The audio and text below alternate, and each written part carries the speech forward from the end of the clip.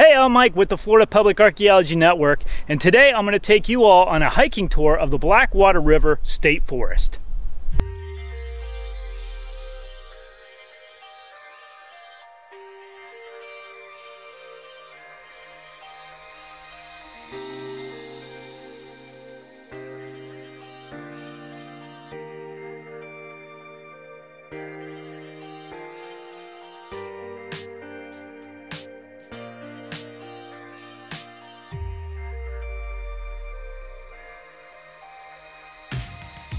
The Blackwater River State Forest encompasses 211,000 acres, uh, and it gets its name from the Blackwater River.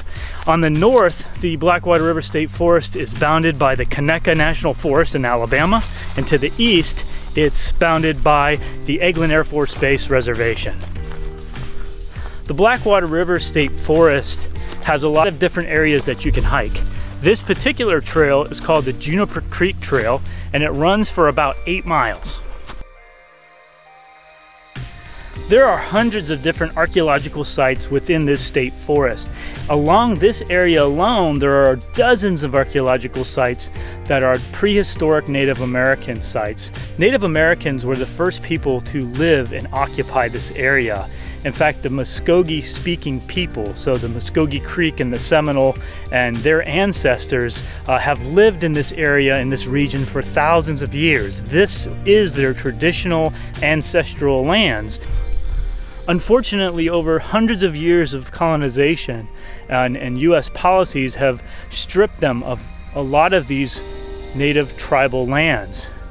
It was in the 1830s that the Native Americans who were in this region were forcibly removed through the Indian Removal Act in the 1830s under President Andrew Jackson that moved them out into what's now eastern Oklahoma, where a number of these native groups, the southeastern native groups, uh, reside at today.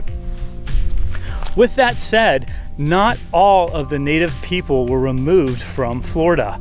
The Seminole resisted U.S. occupation and expansion for over 100 years, and they still have a reservation in the south part of the state to this very day. But there are a number of other Muscogee speaking people that still reside in this area of northwest Florida today, including the Perdido Bay Creek tribe in Perdido, the uh, Santa Rosa Creek tribe that's in Milton, as well as the Muscogee Nation of Florida, which who are over in Bruce. Also, just north of us into Alabama are the Poarch Creeks, who uh, have federal recognition and have a reservation in Alabama to this very day. This feature behind me is known as the Red Clay Cliffs of the Florida Trail. So the Florida National Scenic Trail, part of it actually runs through this area and the, the cliffs here are red clay. Know that Native Americans, the indigenous people that lived in this area for thousands of years, used clay as a resource to make their pottery. And pottery was something that was used in Florida for well over 4,000 years. In fact, there's traditional native potters to this very day who make their, their clay pots in the same way that they would have made them for hundreds or even thousands of years ago. Now, the way that we know that Native Americans made their clay pots is uh, we know that they didn't have the, the wheel, so they didn't actually throw their clay pots in a wheel like uh, like you might have been familiar with if you've ever been to like a, a ceramic art gallery. Um, they would have gathered their clay from areas like this, you know, and here's some really nice clay. Of course, uh, you, you, know, they would have had to have removed any of these impurities. And then they would have actually uh, added what they called temper. And tempered was either crushed up shell or sand or sometimes even uh, bits and pieces of old broken pots that they crushed up.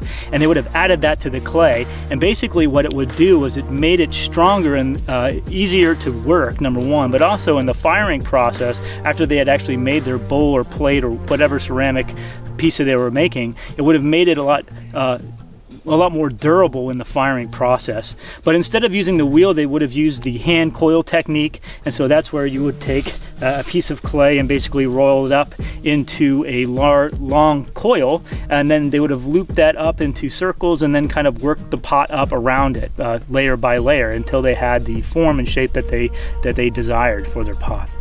Archaeologists love to find pottery because pottery can last so long. So some of this Native American pottery that is found in this area dates back thousands of years. Uh, and also we can tell based on the style of pottery, based on the type of temper that was used, even based on the clay itself, of where that particular piece was probably manufactured. And more importantly, by which cultural group were the ones who actually created it. This is a great area to hike and this is beautiful scenery, but it's always really important when you're out in places like this to recognize that these were the ancestral lands of the indigenous people who lived here hundreds and thousands of years ago and continue to live in this area today.